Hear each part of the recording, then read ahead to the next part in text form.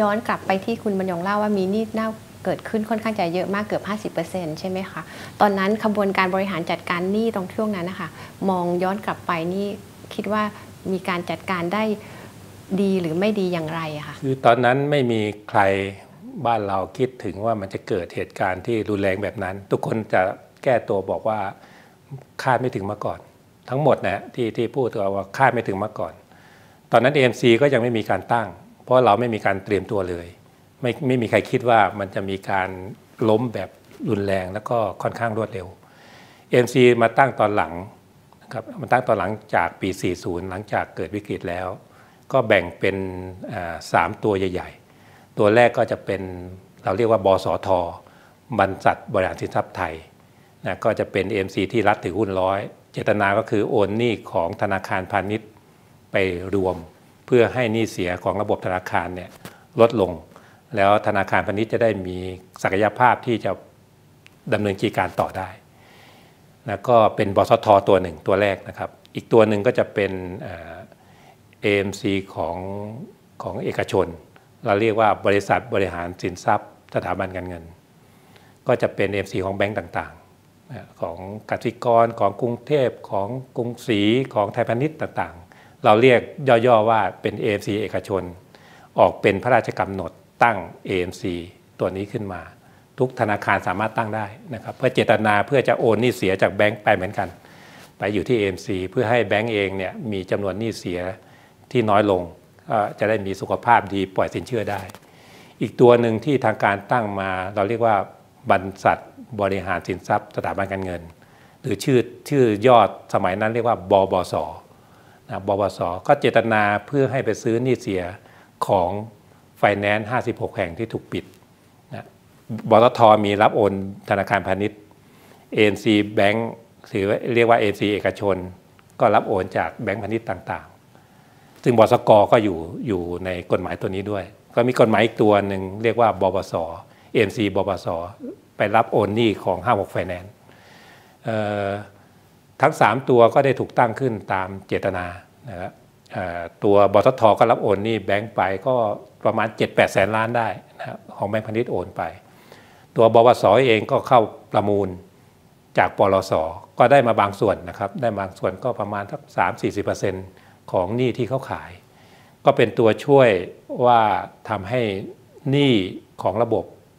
ตอนนั้นเนี่ยของไฟแนนซ์นะครับ ตอนนั้นต้องต้องยอมรับว่าประเทศไทยไม่มีตังค์ ธุรกิจล้มละลายเยอะมาก รัฐบาลก็ไม่มีตังค์ต้องไปกู้ IMF ต่างชาติเท่านั้นที่คิดว่าพอมีศักยภาพที่จะมาประมูลหนี้ของปลสได้ แต่ก็ยังดีที่รัฐบาลเขาตั้งบปสเข้าไปเพื่ออย่างน้อยพยุงราคา อย่างน้อยว่าถ้าถ้ามีการกดราคาก็มีบปสของรัฐนะ เข้าไปช่วยพยุงราคาไว้ว่าไม่ให้มันต่ำกว่าที่ควรจะเป็น แต่วันนั้นก็ยังโดยรวมการขายนี่น่าจะขายได้อยู่ที่ประมาณสัก 20 กว่าเปอร์เซ็นต์ของต้นเงิน ซึ่งก็ไม่ใช่เป็นความผิดใครหรอก เพราะว่าสภาพตอนนั้นเราไม่มีไม่มีตังค์จริง ๆ ก็มีแต่นักลงทุนต่างประเทศที่เขามีเงินเยอะกว่าเรา บวสตอนนั้นที่เข้าไปซื้อจากปลสเองก็ต้องใช้วิธีออกตั๋วนะครับ ไม่ได้ใช้เงินสดซื้อ เพราะไม่มีตังค์ก็ออกตั๋วไปเท่าที่จำได้คือประมาณ 30,000 กว่าล้านเศษนะครับก็หลังจากบปสซื้อซื้อนี่มา 30,000 กว่าล้าน แล้วก็บริหาร ก็ได้เงินกลับไปก็ไม่ต่ำกว่า 50,000 ตัวนั้นตอนที่บปสถูกรวมกับบสคไป ก็มีเงินคืนรัฐบาลครบถ้วน แล้วก็มีกำไรคืนบางส่วนนะครับมองมองว่าแนวทางที่จัดตั้งแบบว่าลักษณะอย่างนี้คือเป็นแนวทางที่ถูกต้องไหมคะช่วงนั้นเนี่ยค่ะการตั้ง AMC เป็นสิ่งที่ถูกต้องนะครับ แต่ช่วงนั้นมันยังว่าแหละครับ มันก็เป็นครั้งแรกของเรา อาจจะมีจุดบกพร่องบ้าง ในเรื่องของจำนวนหนี้ที่มันทะลักออกมา เราอาจจะมองว่าเราได้ราคาไม่ดีนะครับแต่ก็มันก็เป็นความเป็นข้อเท็จจริงข้อเท็จจริง ถ้าเกิดอีกเนี่ยถ้าเกิดวิกฤตมันจะเกิดอีกเนี่ยการที่เรามี AMC จากบทเรียนผ่านมา 15 ปีเนี่ยตัว AMC มีส่วนช่วยในการบริหารจัดการหนี้ด้คุณภาพค่อนข้างเยอะ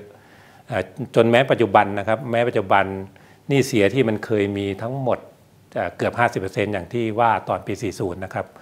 ปัจจุบันมันเหลือ 2%กว่า ส่วนหนึ่งเกิดมาจากเศรษฐกิจมันดีขึ้นนะครับ แล้วสินเชื่อมันขยายตัวทำให้ ABL มันก็ลดลงของมันเองด้วย ส่วนหนึ่งก็เกิดจากแบงก์พาณิชย์เขามีระบบการจัดการตัวเขาในการแก้ไขหนี้ส่วนของเขาก็มีส่วนด้วย อีกส่วนหนึ่งก็เกิดจากการมี AMC เช่น บสกบสสนะครับ แล้วก็มีอีกสองสาแห่ง ที่เป็นเอกชน แล้วก็มีต่างชาติเข้ามาด้วย ก็เข้าไปรับซื้อรับโอนให้มันเป็นปกติ